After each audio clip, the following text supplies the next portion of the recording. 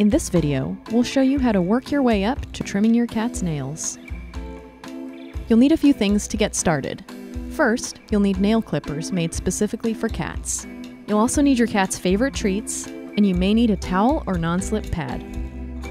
Start by getting your cat used to having their paws touched. Pet their cheek, and without lifting your hand, touch their shoulder, arm, and paw. Then give them a treat. Next, get your cat used to the clippers. Present the clippers to them and then offer a treat. Repeat until they're comfortable with the clippers.